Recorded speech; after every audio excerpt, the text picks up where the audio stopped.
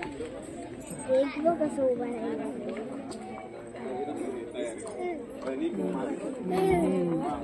पहिल्या शिटीला काठीने डोळे गळ्यात घ्यायचंय दुसऱ्या शिटीला सादरीकरणाला सुरुवात करायचं आणि तिसऱ्या शिटीला सादरीकरण थांबवायचं आहे.